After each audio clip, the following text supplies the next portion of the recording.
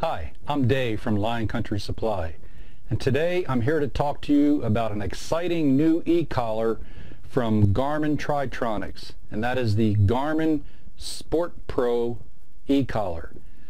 This unit is basically replacing the old Tri-Tronics Sport Basic e-collar which was one of Lion Country's best-selling units for years.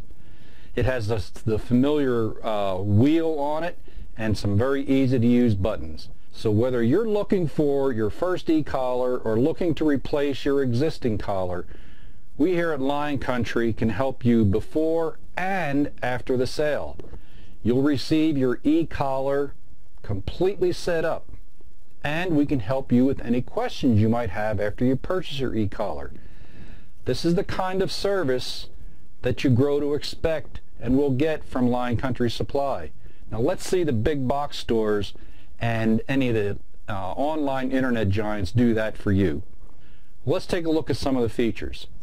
As I just said, it has this quick dial, uh, very positive contact. You can choose from one of 10 stimulation levels. It also has an auxiliary setting, and we'll talk about those auxiliary uh, options in a moment and it has a lock mode so you can't accidentally stimulate your dog. It, this makes for a very uh, simple and intuitive no-look one-hand operation. It's very small, light, uh, both the handheld and the uh, collar, uh, very well designed, very rugged. Um, on the handheld itself you'll notice there are four buttons. Pretty basic. The top large button is the continuous stimulation. The next button down is the momentary. And then you'll see two small buttons at the bottom. And those are for vibration or for tone. Now I mentioned there's an auxiliary setting. When you have the dial set in auxiliary, those two little buttons at the bottom do a unique thing. Press one of them and you get a beacon light comes on the collar. So if you want to locate your dog at night, it's very bright LED lights. You can control, turn it off with the tone button. The other feature uh, this collar has is a bark limiter. So if you have a barking dog, it can be controlled uh, with stimulation on this collar. And the continuous and momentary in auxiliary mode will take care of uh, those functions. The unit has about a three-quarter mile range for stimulation. It has a very long-lasting, rechargeable, and user-replaceable lithium-ion batteries in both the handheld and in the collar. Uh, Garmin says that they'll last up to 60 hours.